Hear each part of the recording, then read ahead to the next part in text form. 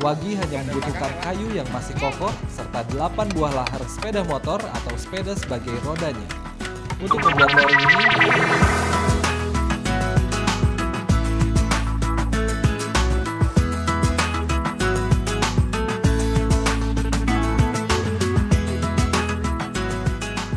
apa ya yang sedang dibuatnya? Bentuknya persegi empat mirip peti, tapi anehnya di bagian bawahnya dipasangi roda.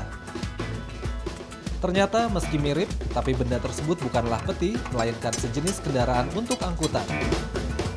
Ya, Wagi sedang membuat sejenis kereta mini yang oleh orang-orang di sekitar belakang stasiun Beos Jakarta disebut lori. Bahkan banyak warga di sini yang bekerja sebagai pengojek lori.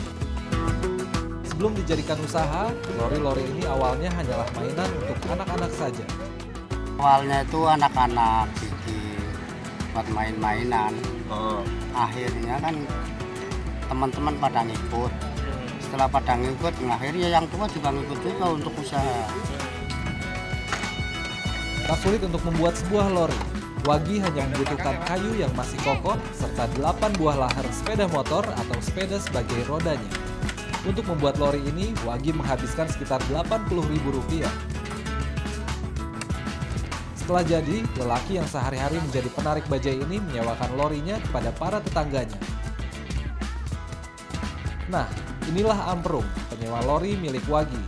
Sehari-hari, pemuda berusia 27 tahun ini bekerja sebagai masinis lori. Sudah hampir lima tahun, Amprung bekerja di sepanjang rel yang sudah tidak dilewati kereta ini. Rutenya pun hanya dari stasiun kota atau Pasar Nalo hingga stasiun Tanjung Priok yang berjarak sekitar 2 km.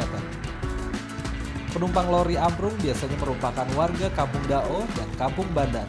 Dalam sehari, Amprung mampu mengantar 20 hingga 50 orang penumpang.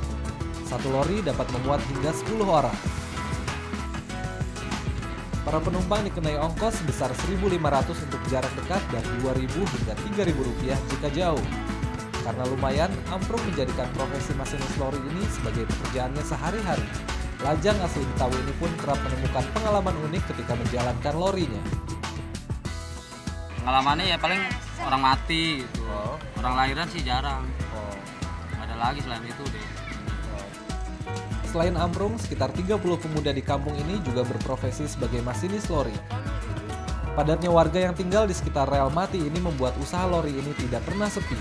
Rata-rata tiap masinis mendapatkan uang 15 hingga 50 ribu rupiah per harinya.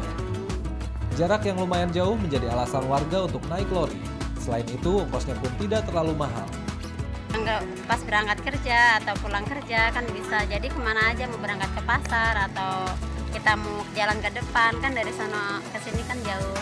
Ya, para pemuda, khususnya di kampung Dao ini, jeli memanfaatkan peluang.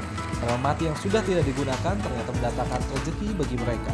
Tak jarang, masinis lori bekerja penuh siang dan malam untuk mengantarkan penumpang.